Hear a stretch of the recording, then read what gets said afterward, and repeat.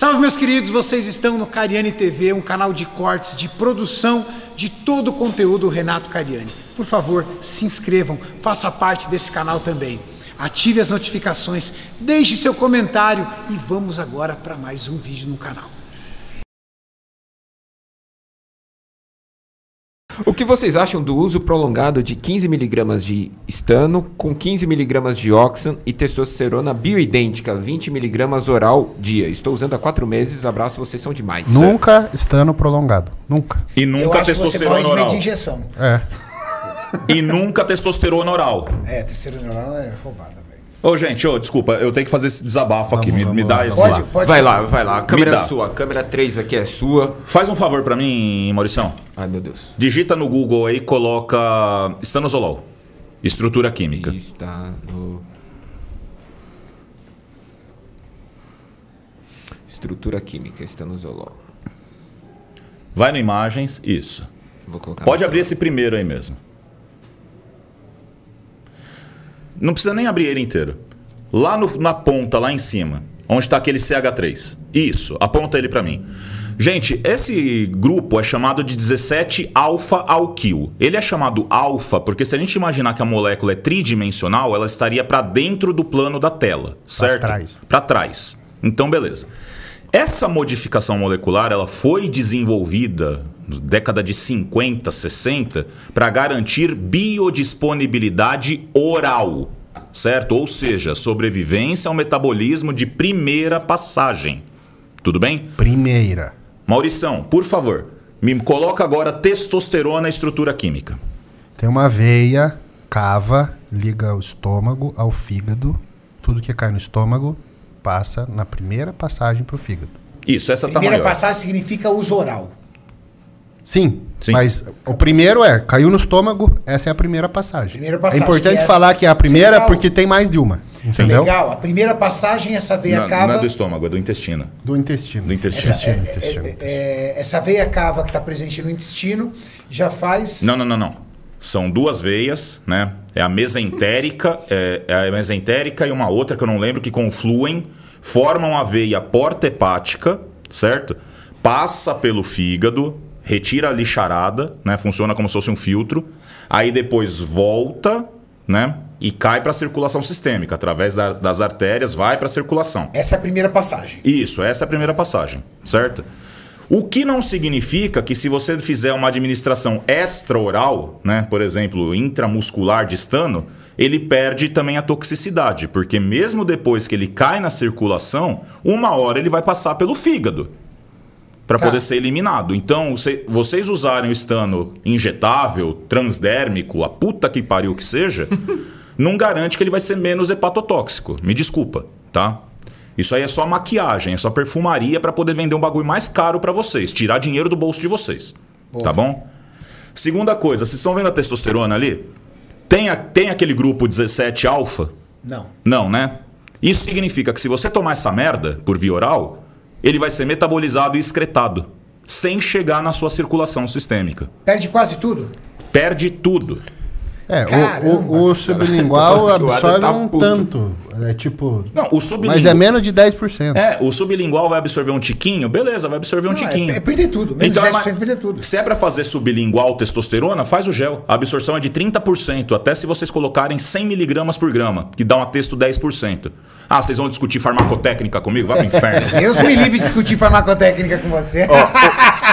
O Adam, o Adam virou assim e falou: Eu estudei seus putos. Agora, seus ó, putos. espera aí. Eu vou. Agora. Não, não, não, calma, calma. Só, Não, pra, não. Gente, só pra gente terminar, só pra gente terminar. Vai lá, vai lá que a Certo. galera tá gostando do rage. Põe agora metiltestosterona, estrutura química.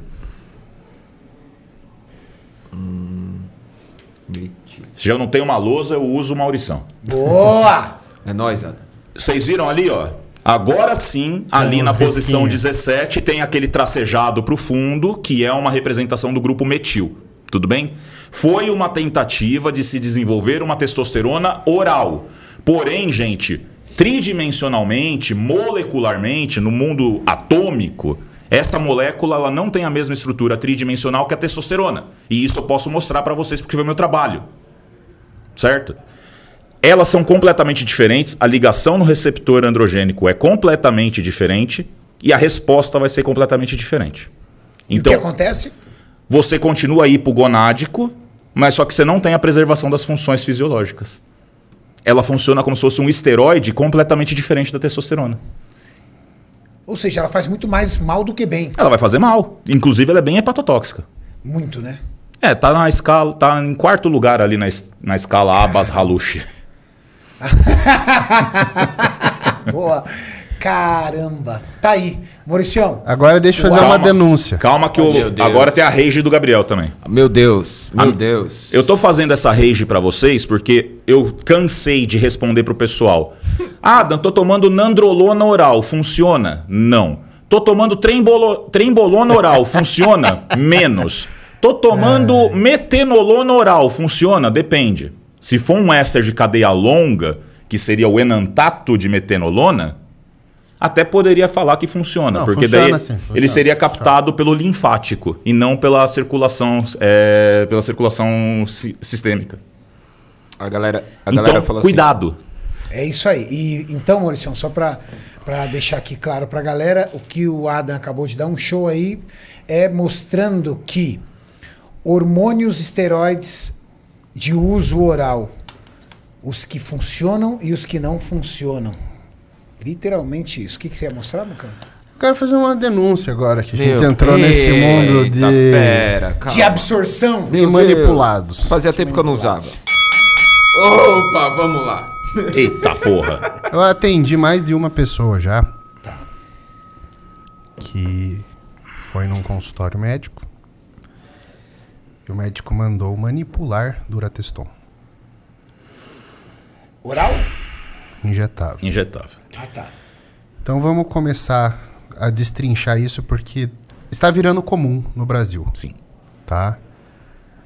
Você quando se trata de farmácia de manipulação versus indústria farmacêutica, você tem um abismo de distância. Sim. Quando a gente fala em manipular cápsulas orais que vão cair no estômago, ácido clorídrico vai ser absorvido, é uma coisa. Quando a gente fala de injetável, Primeiro que tem que mudar toda a estrutura da farmácia para poder desenvolver o injetável. uma indústria farmacêutica ela tem que ter uma planta exclusiva para injetável. Exato. Cara, uma indústria farmacêutica falou injetável, cara. Só nessa planta ele bota 10, 20 milha. Só nessa plantinha. Só na planta. Sim. Porque o ar, É, reflu- é fluxo reverso. fluxo reverso, pressão positiva. O que, que isso quer dizer? Quando você abre uma porta, ela fecha sozinha de tão forte que é a pressão do ar para empurrar a partícula para fora. Sim. O ar é filtro EPA, que 99,97% das bactérias, vírus ficam no filtro. A sala é uma estrutura absurda. O sistema, to- todo o sistema é preparado para isso, para ser injetável e custa muitos milhões. Coisa que uma casa num bairro não tem. É. Que vai confiar 100% numa autoclave para esterilizar um injetável que pode ter pirógeno dentro, etc. E para você fazer um medicamento que custa 10 reais na farmácia e que o médico vende a 200 reais cada ampola no consultório, não vale a pena. E aí, às vezes, você acha que porque você está pagando 200 reais Que vai ser uma coisa diferente. de- é muito melhor do que os 10 reais da farmácia. Exato. E por que, que o médico, por que, que o médico faria uma escolha dessa? O Brasil é um dos únicos países que tem o fenômeno da manipulação. Estados Unidos, Europa, esquece, não existe isso. Os Estados Unidos não confia na manipulação. Ele confia na indústria e no fracionamento de dose. Então, como é que funciona? Ah, é aqueles potinho laranja que você vê nos filmes nos Estados Unidos. Aquilo é fracionamento de dose. A farmácia compra uma bombona de mil comprimidos, conta quantos o médico te prescreveu, põe no potinho e te dá. Ah, é? É. Eu É. achava que aquilo era tudo manipulado. Não. Eu jurava que era manipulado também. Caramba, que legal. Nossa, o É Dr. House. fracionamento. Eu le- fico- lembro do, do Dr. House. Você Com oxicodona. É. Então aquilo já é um medicamento Industrializado. E- industrializado. Pronto, ele só conta a cápsula. Isso. Pra, É pra- como se ele comprasse a granel e vendesse Isso. fracionado. Perfeito. Isso. Sabe por quê, gente? Porque existe uma coisa dentro da, dentro da indústria, Renato trabalha com indústria, chamado controle de qualidade Garantia. e garantia. Da qualidade. E tem um detalhe, gente: indústrias respeitáveis elas seguem alguns sistemas de controle e garantia de qualidade. Por exemplo, o que a gente estava discutindo mais cedo, que é o chamado Seis Sigma, que são várias é, estratégias para que você minimize né, a, quanti a, a quantidade e a propagação de erros desde o início, quando você recebe a matéria-prima, quando ela chegou lá no porto, que seja, até a entrega na mão do paciente. E Porque vamos isso, piorar, né? Não, não. E isso garante o quê? Rastreabilidade. Não, vamos piorar um pouco. Que, fa que farmácia de manipulação vai ter equipamento para análise de controle de qualidade? Não, daí agora vamos falar sobre isso. Vamos lá, vamos brincar um pouco então. No Brasil, por exemplo, é, o, o que eu quero bater é no risco que as pessoas correm de, de passar por um processo de estelionato médico, onde o médico ilude o paciente com conhecimento técnico e que aquilo é melhor para ele. Sim. Isso está começando a ficar comum, hein? Isso porque ele está vendendo um negócio que custa muito caro, porque a comissão que ele ganha é muito alta. Então, por exemplo. Isso dá um pano para manga, velho. É, então, assim, uma Dura Teston na farmácia, que custa 10 reais, ela é infinitamente superior a uma manipulada. Infinitamente, em termos de segurança, eficácia. Até porque a indústria vai fazer um milhão de ampolas Dessa 1 milhão de ampolas, vai mandar umas 100 para o controle de qualidade para fazer os testes de uniformidade de dose. Uhum. Será que toda ampola tem a mesma quantidade? Agora, Sim. quando eu estou fazendo só 10 ampolas para o Renato, manipulando, Pode quantas que... que... eu vou fazer controle de qualidade? Nenhuma. Estou vendendo só 10. A indústria está fazendo um milhão.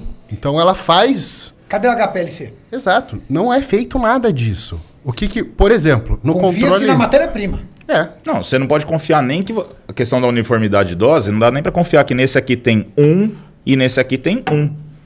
Tanto que a própria indústria ela admite, admite erros, que nem a gente falou do três, dos seis sigmas, que são três desvios para cima, três desvios para baixo. Então, se nessa aqui tiver 1.2 e essa aqui tiver 0.8, estatisticamente elas são iguais. Então passa. O problema é quando essa aqui tem 1.7 e essa aqui tem 0.3. Que é um erro grosseiro né? e que mostra uma sequência de erros dentro da indústria, com a diferença que a indústria vai fazer o que com aquele lote? Jogar inteiro fora. Inteiro fora. Porque se não passou pelo controle de qualidade, o lote vai para o inferno. Acabou. Enfim. Tanto e... que eu, tenho, eu lembro que eu tinha vários amigos que trabalhavam na indústria, né? Que traziam os refugos da qualidade. Claro.